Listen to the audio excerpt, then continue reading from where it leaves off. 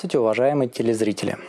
В адрес нашей телепередачи «Что посоветуете батюшкам» продолжает поступать большое количество вопросов.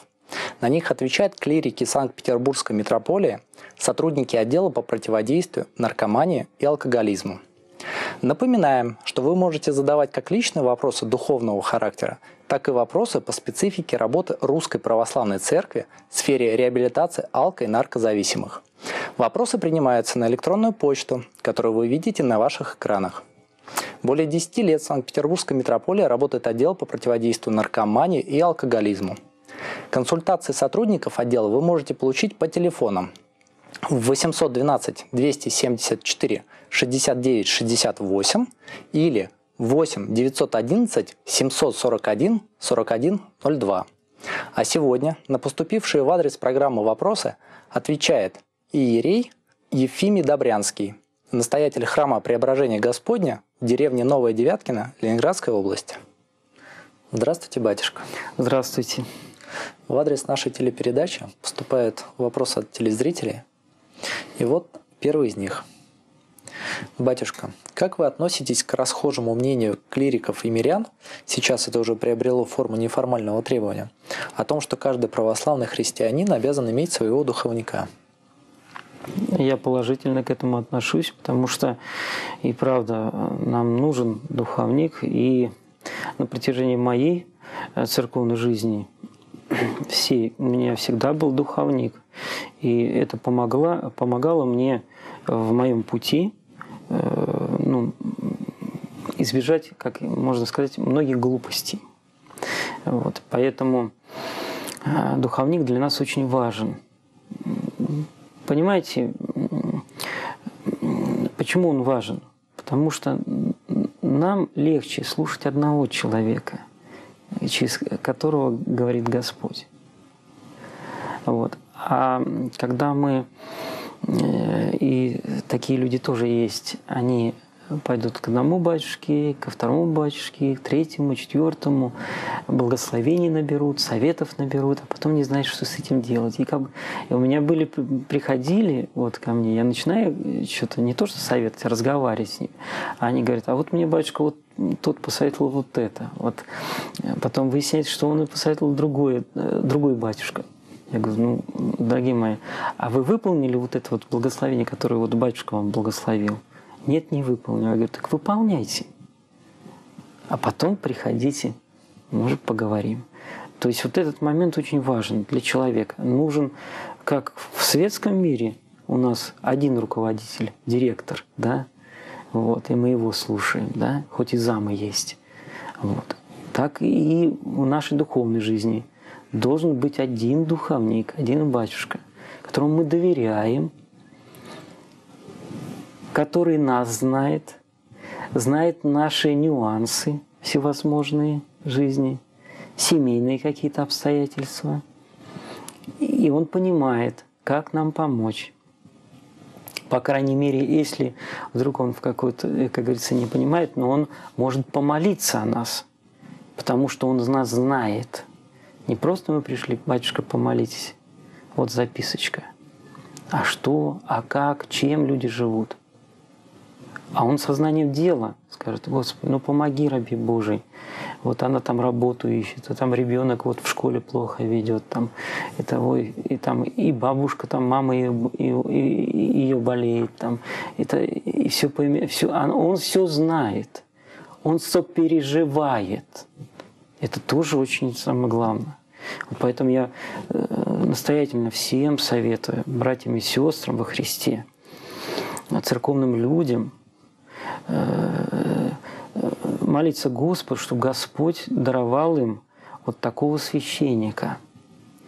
Э, и еще такой момент. Некоторые начинают бегать по церквям, искать. И даже подходят. Будьте моим духовником, задают вопрос. Ну, как-то вот вот такой порыв у них, хороший вроде порыв. Ну, говоришь, ну давайте, давайте сначала мы помолимся, вот как-то вы будете приходить, мы будем молиться, да, вот на литургии, причащаться, исповедоваться.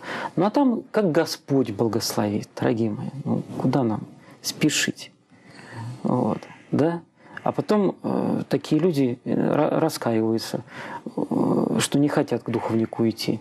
Э, в таком пылу пробежали, дайте, э, давайте вы мой будете, это духовник. Там. Давайте, да. А потом раз и не хотят ничего да, слушать, потому что поторопились. Вот поэтому надо молиться и захотеть, чтобы Господь э, дал такого батюшка. Он обязательно даст. Вот. Поэтому помоги нам всем, Господи, обрести своих духовников. Спасибо, батюшка. Следующий вопрос. Подскажите, пожалуйста, что такое радость христианина? Недавно мне на какое-то время удалось усмирить одну страсть, которая меня мучила с детства. И после этого на душе стало как-то радостно и светло. Но при этом же появилось опасение, не потеряю ли я бдительность в таком состоянии. У меня не раз были в жизни ситуации, когда я в удушевленном эйфорическом состоянии совершал духовное падение. Или я путаю радость и спокойствие христианина с чем-то еще. Спасибо. Спасибо за вопрос. Ну, брат во Христе ответил, наверное, на вопрос э, для христианина, что такое радость. Это когда вот благодать Божия посещает так, что ты вот освобождаешься. Ну, правда, вот он сказал на время. Вот, дай Бог нам навсегда со своими страстями освободиться, и тогда мы только в радости будем жить, в благодати, что вот нам хорошо. Вот без страсти нам хорошо. Но это одна из таких моментов вот, радости христианина. Вообще э, э, радость христианина это заключается в том, что мы с Богом. Вот это вот радость. Вот что нас призвал, мы услышали, да, и остались в церкви и мы находимся в церкви. И, кстати, мы об этом забываем. У нас это уже потом не радует почему-то, по каким-то причинам, что мы забываем, что Господь призвал. А если вот мы будем вот немножко назад оборачиваться, что я жил вот так, а теперь я живу вот так, то у, нас, у меня все есть. Это уже радость такая будет совершенная. Мы будем благодарить Господа за все. Вот. И, конечно, почему падение происходит? Мы обрадовались, да, что у нас получилось, что, а потом раз и, и падение. Вот. Из-за того, что мы э, не просто успокаиваемся, да, а мы расслабляемся. Мы начинаем, знаете, я не побоюсь этого слова, наверное, сказать, начинаем балдеть наверное, все братья и сестры поймут, что вот когда ты балдеешь, ты в полном расслаблении, да, находишься. И мы знаем, что Христос, Он расслабленных исцелял, а мы, наоборот, расслабляемся. Вот такое вот есть у нас словосочетание. Расслабля... Пойдем расслабимся, да? Ну как это так? Мы, наоборот, должны как-то э, в радости жить, а не в расслаблении. Вот. Поэтому я пожелаю брату во Христе э, не расслабляться, вот, а наоборот, э, в радости во Христе, что Господь помогает, что Он э, всегда рядом, вот, и пожелать нам всем, чтобы Господь был рядом, и мы это чувствовали, да?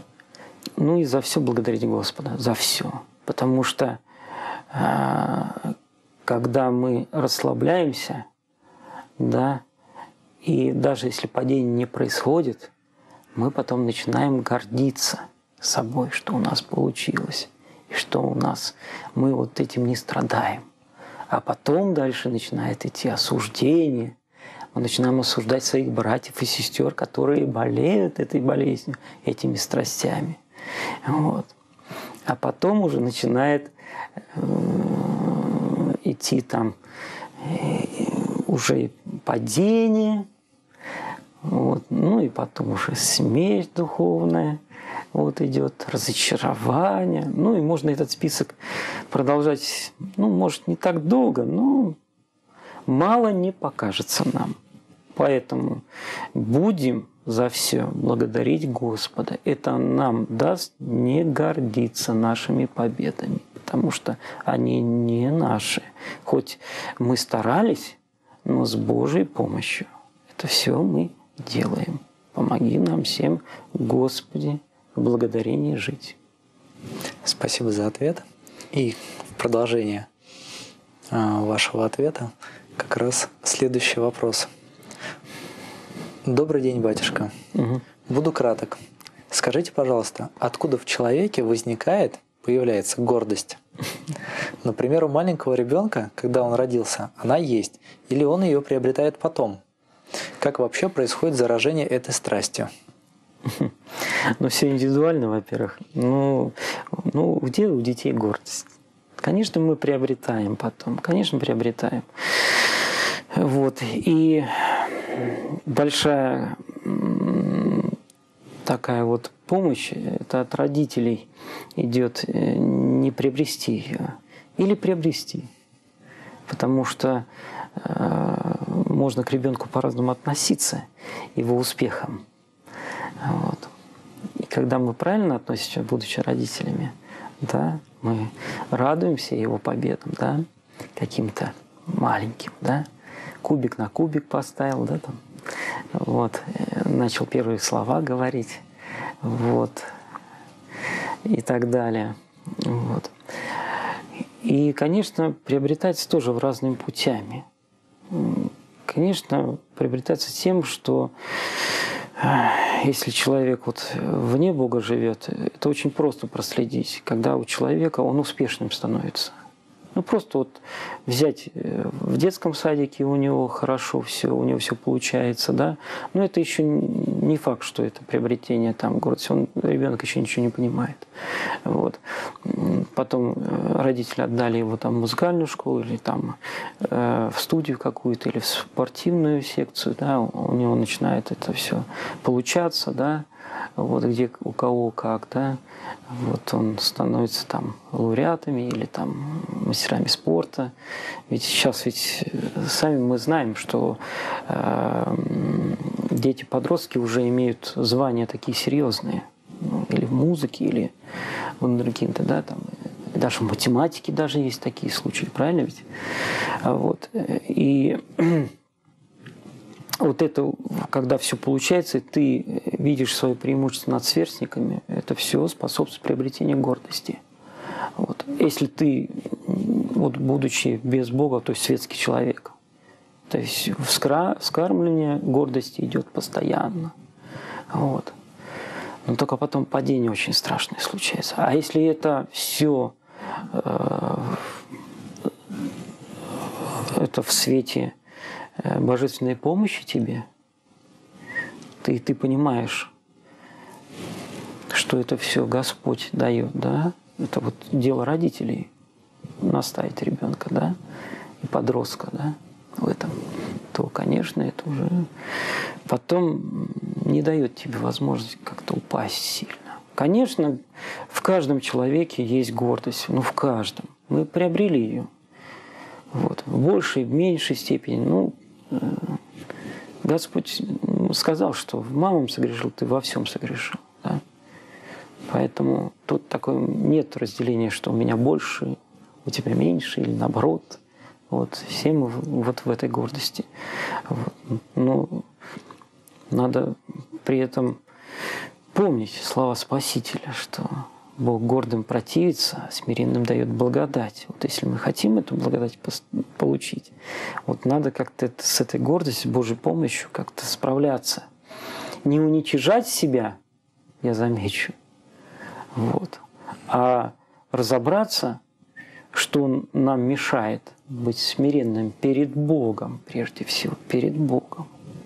Потому что это уже, наверное, другой момент. Вот, как быть смиренным вот, поэтому дай Бог нам всем, дорогие мои, все-таки нам надо быть осторожными, смотреть сами собой. Помоги нам всем, Господи. Спасибо, батюшка. Уважаемые телезрители, время нашей передачи подошло к концу. Присылайте ваши вопросы на адрес электронной почты, который вы видите на ваших экранах. Всего доброго. До свидания. До свидания, братья и сестры.